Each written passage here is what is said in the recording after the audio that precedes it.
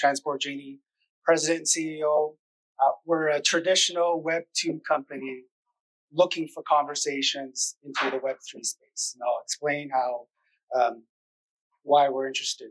So we're basically de-risking transportation events. When things are being transported, we started off in livestock. You don't really know what's happening in the in the in the trailer, and so we've developed this AI-based IoT sensor to monitor real-time precision monitoring uh, in order for a situational awareness. This is why we're solving it. It's a black box. So traceability, health, meat quality, um, these are aspects that we're solving right now. We're now becoming um, the standard for uh, real-time precision monitoring in this space. Why are we doing this now? It's a big industry. Margins in food productions are low. Consumers are demanding better traceability. And in order for that to happen, you need data. So we provide that layer. Legislation is also changing um, uh, aspects and uh, increasing our uh, adoption. And then we have this sustainability initiative, which I will explain. This is our solution. We put these IoT uh, sensors using BLE5 inside the trailer. They go and send the data, and then we have a link device, which then sends the data to our cloud. We have a quantum proof encryption uh, uh, patent uh, in the US, and now it has PCC, uh, PTT status. So if there's any other teams here that are worried about how data is being sent to other devices, so we thwart uh, replay attacks and man in the middle attacks with this patent. Um, and that's, I think is pretty cool. I also like random numbers.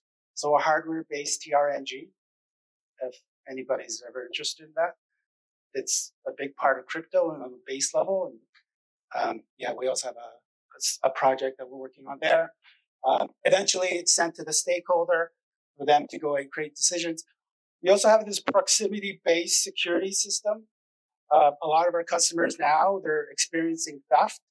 And so we use ultra high frequency RFID.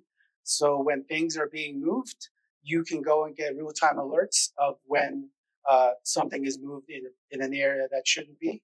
My first patent was in um, geofencing, so I know that well. Um, and that's a big uh, play for us in 20 uh, this year. This is our attraction, uh, obviously in Canada because that's where we're from uh, the US, Mexico, uh, Switzerland, UK, uh, Denmark, Australia, Philippines. These are our uh, technology partners. You see Ocean there. So we've done work with Ocean Protocol. Uh, we want DAOs. We've also found bugs and fixed them. So we also want bug bounties. And so our customers are in the traditional space. And so what, why we're in Web3 is because we wanted uh, they want to know how else they can get an ROI from buying our sensors. So whether it's the data monetization piece that's happening, and there's a gamification as well.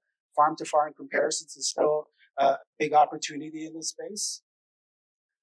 These are current competitions and how we are better than them. Uh, these are sensor advantages. We also have a CAN bus protocol. So we uh, things are being automated uh, automatically. We also use MQTT to talk to other devices. Our carbon neutrality efforts, so we uh, spend a certain percent of the sales of our products into planting uh, trees in order to offset carbon. We have a circular economy um, piece as well. So all of our components are modular, and then we use the, or we encourage them to uh, rent our sensors. So we have a, an MRR and also a way for them to properly um, recycle uh, sensors. So uh, these are our metrics. Our as we just want to talk to people. That's all we do, uh, and see if there's any uh, synergies. Thanks. That's our team and contact info. Thank you.